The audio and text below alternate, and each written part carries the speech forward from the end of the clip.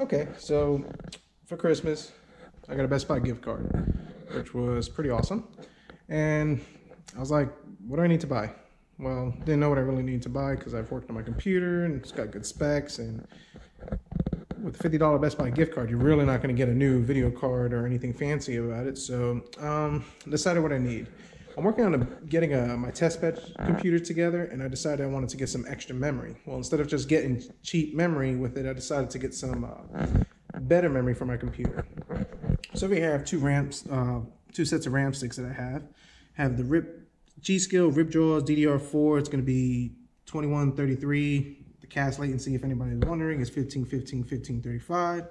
And then I bought the Corsair RGB Pro Vengeance, whatever you call it, uh, PC 3200. The CAS is going to be 16, 18, 18, 36. So, um, obviously this RAM is faster than this RAM, so I want to see how it affects my CPU score. So, um, I'm going to run some Cinebench, my 3D Mark, and I want to see if uh, faster memory does improve my scores or anything. Uh, will improve my gaming scores. Maybe I'll try a game on it and see if I can get a better performance on it. So, um, figure to record a video and document if it makes any improvement. I mean, it's both 16 gigs of RAM, two 8 gig sticks. I mean, yeah, I could have bought another two gigs and had 32 megs of RAM, but I wanted to see if uh, faster memory actually does make a difference. I mean, looking online, there are some tests that show it does. Some people say it doesn't. So I just wanted to see for myself. So if anybody's trying to build a budget computer and has a way to get more, uh, what you call it, bang for the buck, maybe just doing faster memory does it. I don't know. So um,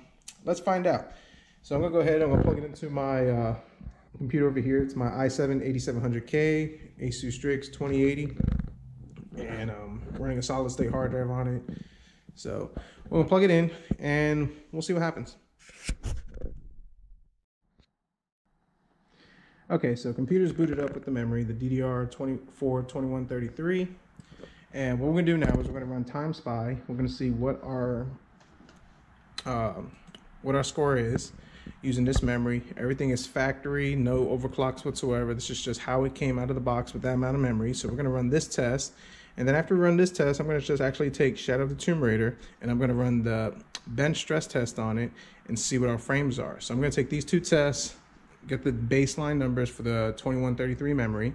And then after that, I'm gonna take the DDR4, which we have over here, the Corsair Vengeance, the 3200 memory, and we're gonna pop that in and we're gonna see if it works, okay? We're running 16 gigs of RAM on both uh, DDR4 dual channel, and we'll compare and we'll see if we have any improvement, if there is a difference between faster memory and slower memory when it comes to uh, gaming in our 3D Mark in our performance. So we'll go ahead and run these tests, run both of them, and afterwards um, we'll take a look at the scores and we'll see what we got. Test is complete, and this is our score, 10,548. So CPU score, 7,220. CPU 24 frames per second, and all that stuff. So this is running the DDR4 2133 16 gigs of RAM, running it in dual channel with the i7 8700K and the RTX 2080. So um, what I'm gonna do now is we're gonna shut this thing down.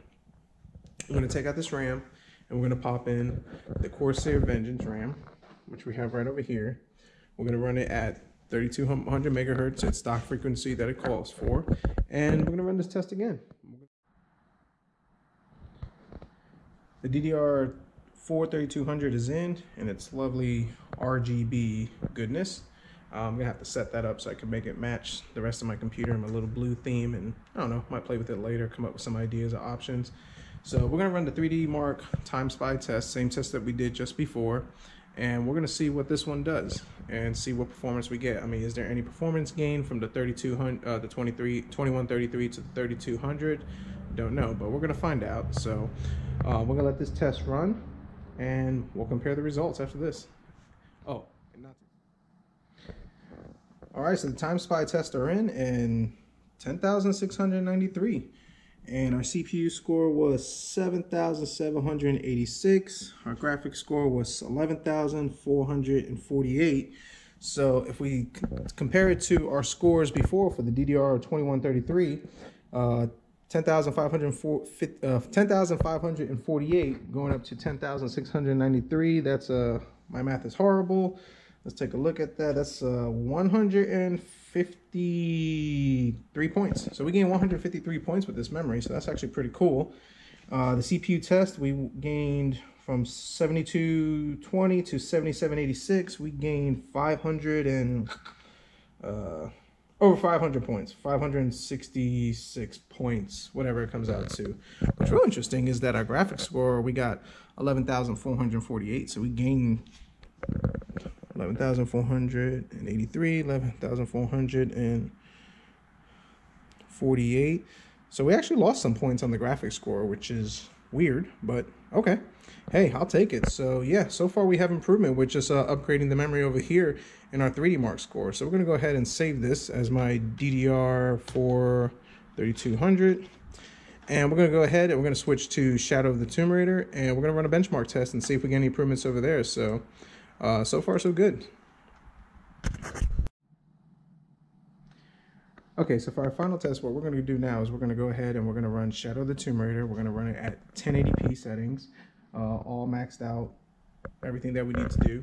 So we're still running DDR4 2133. So we're going to run it, go ahead and run the benchmark and see what our results are.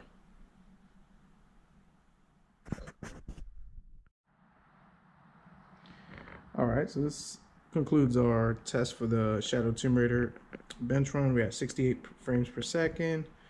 That's our frames rendered. CPU. All right, so on Shadow of the Tomb Raider, we got 69 frames per second. So we gained one more frame per second, a couple more frames rendered and everything, running this 1080p max, all settings and all that good jazz. So we really didn't get a huge significant um, frame boost. I mean, maybe in different games you might get more.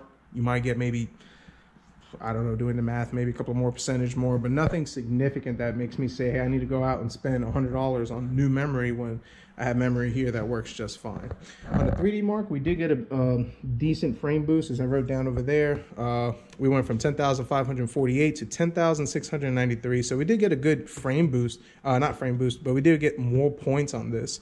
And I'm sure if I was to take this DDR4 memory and adjust the timings and clock it a little more. I probably could get more, squeeze more uh, points out of it if I wanted to do it, and maybe even get more frames per second on Tomb Raider. I mean, I'm not gonna get like 15 to 20 frames per second, but instead of getting one, I might get three to five, maybe six frames per second. So, as far as going out, like I said, spending $100 on memory, I wouldn't. This memory was $97 at Best Buy at the time of this video, which is gonna be what, January 2nd, 2020. That memory, I had this memory over here, the G Skill. I bought this maybe a year and a half ago. Also spent, I think about $100 back then when memory prices were high and ridiculous.